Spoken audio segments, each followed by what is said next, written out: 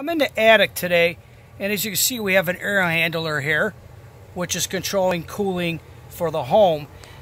And as I'm following the condensate lines back to the main vent stack, the condensate line happens to be dripping down the stack and ending up in the basement that needs an immediate repair by a licensed plumber.